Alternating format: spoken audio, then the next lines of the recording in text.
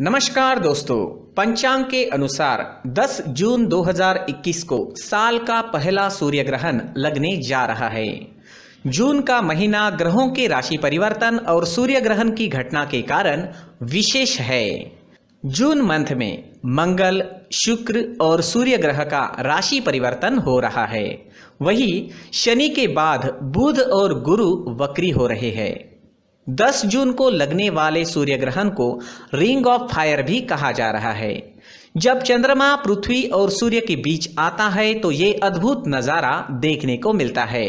इस ग्रहण को कंकन रूप यानी खंडग्रास भी कहा जा रहा है। लेकिन दोस्तों, ग्रीनलैंड में ही कंकनाकृति सूर्य ग्रहण या फिर हम कह सकते हैं रिंग ऑफ़ फायर का नज़ारा जो है, वो सिर्फ़ ग्रीनलैंड में ही दिखने वाला है। दोस्तों, इस जून महीने में मंगल ग्रह, सूर्य और शुक्र ग्रह का राशि परिवर्तन होने जा रहा है। इसके साथ ही बुध, गुरु, वक्री हो रहे हैं। वक्री अवस्था में ग्रहों का प्रभाव कम हो जाता है। शनि पहले से ही मकर राशि में वक्री है। ऐसे में शनि को भी जोड़ लिया जाए तो जून माह में तीन ग्रह वक्री होने जा रहे हैं। दोस्तों, जानते हैं सूर्य ग्रहण का समय। सूर्य ग्रहण 10 जून, गुरुवार को ज्येष्ठ मास की कृष्ण पक्ष की अमावस्या की तिथि को लग रहा है। इस दिन शनि जयंती भी है और वट सावित्री भी इस दिन मनाई जाएगी। दोस्तों, साल का दूसरा सूर्य ग्रहण जो लगेगा वो 4 दिसंबर 2021 को लगेगा और वो आखिरी सूर्य ग्रहण होगा 2021 का। साल का पहला सूर्य ग्रहण जो अब लग रहा है, वो ऋषभ राशि में लग रहा है। इसलिए ऋषभ राशि वालों को विशेष सावधानी बरतने की ज़रूरत है। दोस्तों, ये सूर्य ग्रहण भारत सहित कई अन्य देशों में दिखाई देने वाला है। भारत में इस ग्रहण को सिर्फ़ आंशिक रूप से ही देखा जाएगा, लेकिन कनाडा, रशिया, ग्रीनलैंड, यूरोप और एशिया और उत्तरी अमेरिका में सूर्य ग्रहण को पूर्ण रूप से देखा जा सकेगा। ग्रीनलैंड में तो रिंग ऑफ़ फायर का नज़ारा भी देखने को मिलेगा। दोस्तों सूर्य ग्रहण का समय जो है, वो दोपहर एक बजकर बयालीस मिनट से, जी हाँ दोपहर एक बजकर बयालीस मिनट में शुरू होगा और शाम के छः बजकर इकतालीस मिनट तक सूर्य ग्रहण रहने वाला है। दोस्तों, ये सूर्य ग्रहण साल का प्रथम सूर्य ग्रहण है और ये आंशिक रूप से ही देखा जाएगा। इस कारण भारत में सूतक के नियम लागू नहीं होंगे। सूतक काल में शुभ और मांगलिक कार्य नहीं किए जाते हैं। जब पूर्ण सूर्य ग्रहण होता है तो ग्रहण आरंभ होने से 12 घंटे पूर्व सूतक काल आरंभ हो जाता है। आंशिक होने के कारण मंदिरों के कपाट भी इस समय में खुले ही रहेंगे, बंद नहीं रहेंगे। दोस्तों, आगे जानते हैं चार राशियों के लिए ये ग्रहण अशुभ रहने वाला है। कौन सी है वो चार राशियाँ और कैसा रहेगा उन पर सूर्य ग्रहण का प्रभाव? तो चलिए आगे देखते हैं। दोस्तों, ग्रिगेरियन कैलेंडर के अनुसार ज्येष्ठ की अमावस्या तिथि 10 जून को पड़ेगी। यह पहला सूर्य ग्रहण होगा। ज्योतिष विज्ञान के अनुसार सूर्य ग्रहण का शुभ और अशुभ प्रभाव सभी राशियों पर अलग अलग पड़ता है। आइए जानते हैं, इस सूर्य ग्रहण का किन किन राशियों पर अशुभ प्रभाव रहने वाला है? जी हाँ किन राशियों के लिए ये ग्रहण अशुभ रहेगा, ये अब हम जानेंगे। सबसे पहली राशि है ऋषभ राशि। दोस्तों, ये सूर्य ग्रहण ऋषभ राशि में ही लगने जा रहा है। इसलिए इस राशि के जातकों को इस ग्रहण के अशुभ प्रभाव से बचने के लिए विशेष ध्यान रखना होगा। जी हाँ ये ग्रहण ऋषभ राशि के लिए अशुभ रहने वाला है और इससे बचना आपके लिए ज़रूरी रहेगा। इस राशि के जातकों को सेहत से जुड़ी समस्याओं का सामना करना पड़ सकता है। धन की हानि हो सकती है, इसलिए ऐसे जातकों को कोई भी लेन देन या खर्च बहुत ही सोच समझकर करना चाहिए। दोस्तों, दूसरी राशि है मिथुन राशि। ये सूर्य ग्रहण मिथुन राशि के लिए भी शुभ नहीं रहेगा, यानी अशुभ ही रहेगा। इस राशि के जातकों को व्यापार में नुकसान होने की संभावना रहेगी। आर्थिक समस्याएँ आ सकती है इस दिन। इसलिए किसी प्रकार का लेन देन ना करें। जी हाँ अधिक मेहनत करने के बाद ही सफलता इस समय में आपको मिल सकती है। चलिए जानते हैं अगली राशि के बारे में, यानी तुला राशि। दोस्तों, तुला राशि के जातकों के लिए भी यह सूर्य ग्रहण परेशानियों वाला रहने वाला है, अशुभ ही रहने वाला है। इस सूर्य ग्रहण की वजह से परेशानियों का सामना करना पड़ सकता है। ऐसे जातकों को व्यापार और नौकरी में नुकसान भी उठाना पड़ सकता है। मन अशांत रहेगा, दाम्पत्य जीवन में तनाव होने की भी संभावना है। अच्छा होगा कि जीवन साथी के साथ समय बिताए। जी हाँ। और अगर कहीं भी तान तनाव कहीं भी झगड़ा होता दिखे या किसी भी प्रकार का तनाव पैदा हो तो शांत रहने की कोशिश ज़रूर करें। दोस्तों, चलिए अब जानते हैं मकर राशि के बारे में। यह सूर्य ग्रहण मकर राशि के लिए भी अशुभ ही रहने वाला है। जी हाँ अशुभ प्रभाव ही लेकर आ रहा है। इस दौरान इन्हें सावधान रहना होगा। सेहत और व्यापार के लिए मकर राशि के जातकों के लिए यह सूर्य ग्रहण उचित नहीं है। जी हाँ आपको आपकी सेहत का भी ख्याल रखना होगा और व्यापार में भी किसी प्रकार का लेन देन ना करें। थोड़ी सावधानी इस समय में ज़रूर बरतें। मानसिक तनाव भी हो सकता है। इस दौरान कोई नया कार्य ना करें। किसी नए कार्य की शुरुआत ना करें। असफलता मिलने की संभावना रहेगी। तो दोस्तों, ये था 2021 का पहला सूर्य ग्रहण जो चार राशियों पर अशुभ प्रभाव डालने वाला है।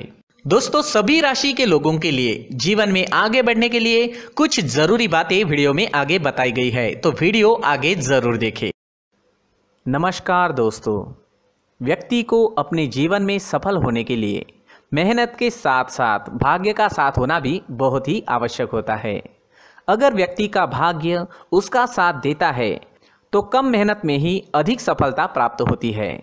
परंतु कई बार ऐसा देखा गया है कि व्यक्ति के जीवन में कई ऐसी घटनाएँ घटित होती है, जिसकी वजह से उसको बहुत सारी परेशानियों का सामना करना पड़ता है।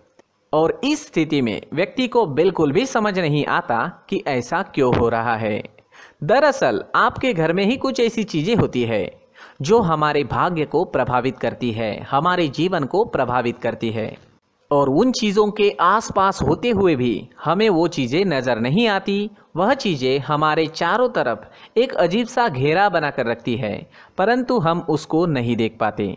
इन चीज़ों से हमारे घर में और हमारे जीवन में नकारात्मकता फैलती है, जिसकी वजह से हमें नुकसान उठाना पड़ता है। जिसकी वजह से हमें भारी नुकसान उठाना पड़ता है, हम पूरी तरह से कंगाल हो सकते हैं।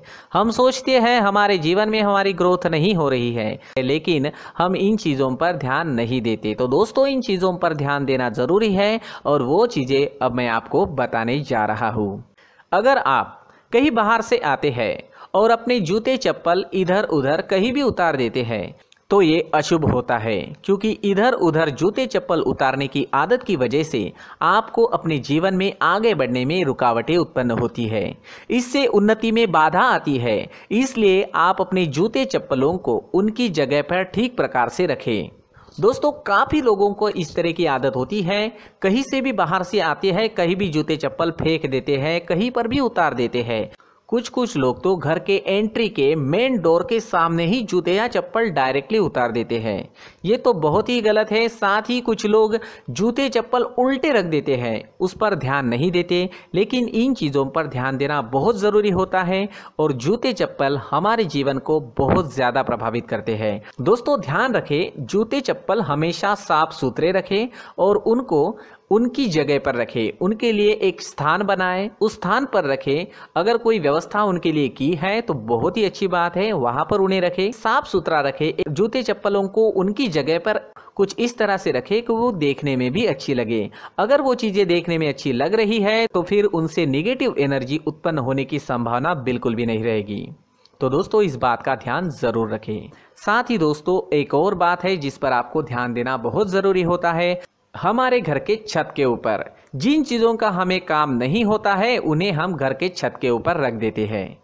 ऐसा करते करते देखेंगे तो घर के छत के ऊपर कबाड़ जमा दिखता है। जी हाँ जो चीज़ें हमें लगता है आगे जाके हमारे काम में आ सकती है, वो हम घर के ऊपर रख देते हैं। लेकिन वो चीज़ें तो काम में नहीं आती, हमारे जीवन पर वो चीज़ें बहुत ही गहरा निगेटिव इफ़ेक्ट डालती है। इसलिए हमारे घर के ऊपर का जो भी एरिया है, वो पूरी तरह से साफ़ सुथरा रखें। जी हाँ साफ़ सुथरा रखना है।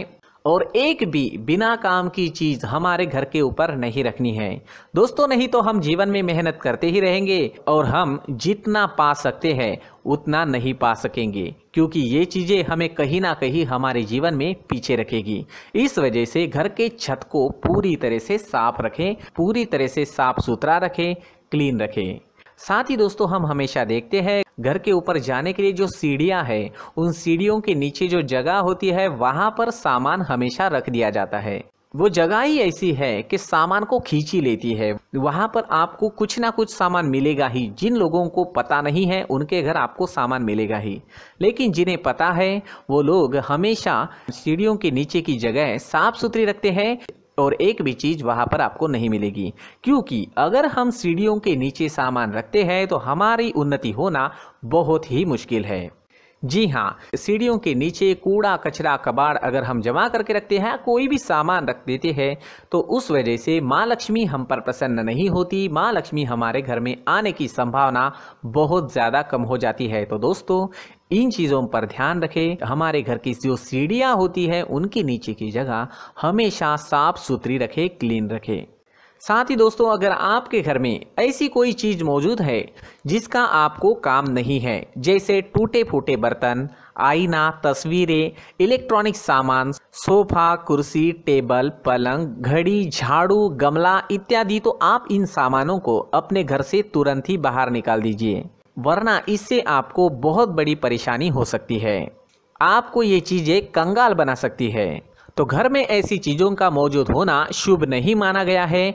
इससे धन की देवी माता लक्ष्मी जी का प्रवेश घर में नहीं होता है। इन चीज़ों से आपके घर में नकारात्मक ऊर्जा का संचार होता है और जिस वजह से व्यक्ति को मानसिक समस्याओं का सामना भी करना पड़ता है। व्यक्ति के मन में चिड़चिड़ाहट होती है और छोटी छोटी बातों पर गुस्सा आने लगता है। आप जो भी कार्य करते हैं, उसमें आपका मन नहीं लग पाता है। इस व्यक्ति का जीवन घर में मौजूद इन चीज़ों की वजह से अंधकार में डूबने लगता है। इसलिए आपको घर में बिना काम की चीज़ें कूड़ा कचरा नहीं रखना है। दोस्तों, एक और ख़ास बात है। हमारे घर में मकड़ी का अगर जाला है तो वो बिल्कुल भी शुभ नहीं है। जी हाँ वो अशुभ माना जाता है। घर में मकड़ी का जाला होना अशुभ है। इससे आपके अच्छे दिन भी बुरे दिनों में बदल सकते हैं। क्योंकि मकड़ी अपना जाल शिकार को फंसाने के लिए बनाती है। और अगर आपके घर में मकड़ी का जाला है तो इससे घर में नकारात्मक ऊर्जा का प्रभाव अधिक बनता है। और वास्तुशास्त्र के अनुसार इससे सकारात्मक ऊर्जा का नाश होना शुरू हो जाता है। और घर में नकारात्मक ऊर्जा बहुत ज़्यादा बढ़ जाती है। इसलिए आप अपने घर को हमेशा साफ़ सुथरा रखें। कम से कम एक महीने में अपने घर के हर कोने की साफ़ सफ़ाई ज़रूर करें। जी हाँ वैसे तो एक हफ़्ते में साफ़ सफ़ाई करनी ही चाहिए, लेकिन ना हो सके तो एक महीने में तो आपको घर पूरी तरह से साफ़ करना चाहिए और मकड़ी के जालों को खास करके अपने घर में बिल्कुल भी पना ना दें। दोस्तों, मुख्य द्वार भी हमेशा साफ़ सुथरा रखें मुख्य द्वार। मुख्य द्वार को हमेशा सजाया जाता है क्योंकि मुख्य द्वार से ही हमारे घर में लक्ष्मी का प्रवेश होता है। तो मुख्य द्वार को साफ़ सुथरा रखें और सजा कर रखें तो बहुत अच्छा रहेगा। इससे मानसिक रोग और घर की परेशानियाँ दूर हो जाएगी, धन की कोई कमी नहीं रहेगी और इसके साथ साथ आय के नए स्रोत भी खुलने लगेंगे। इसी के साथ और कुछ चीज़ें हैं, जैसे टूटी फूटी जो भगवान की मूर्तियाँ होती हैं, वो हमारे घर में नहीं रखनी चाहिए। साथ ही जो भगवान के पुराने फ़ोटो है, जो जमा करके रखे हुए होते हैं तो दोस्तों वो चीज़ें नहीं रखनी चाहिए। जो भगवान के फ़ोटो या भगवान की मूर्तियाँ जो घर के मंदिर में हैं, बस वहाँ तक सीमित है। अगर आपके घर के शोकेस में भी वो मूर्तियाँ रखी है, कुछ फ़ोटो रखे थे, उन्हें भी साफ़ करते रहना चाहिए। जिन चीज़ों को हम मेंटेन नहीं कर पाते, साफ़ नहीं रख पाते, उन चीज़ों को घर से हटा देना ही आपके लिए अच्छा रहेगा।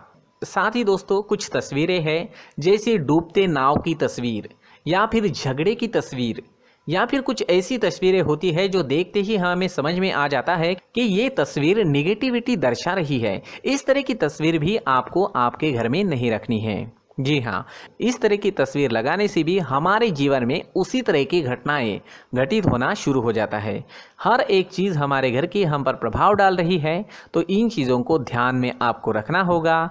तो दोस्तों, कुछ ऐसे छोटे मोटे बदलाव करके हम हमारे जीवन में खुशियाँ ला सकते हैं, तरक्की ला सकते हैं, धन ला सकते हैं, माँ लक्ष्मी जी का प्रवेश हमारे घर में हो सकता है। तो इन चीज़ों को ज़रूर आजमाएँ। इस तरह के बदलाव आप आपके घर में ज़रूर करें।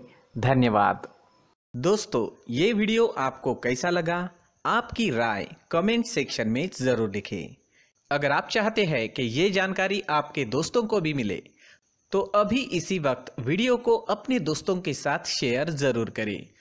दोस्तों, चैनल को सब्सक्राइब करना और लाइक करना ना भूलें। पूरी वीडियो देखने के लिए धन्यवाद।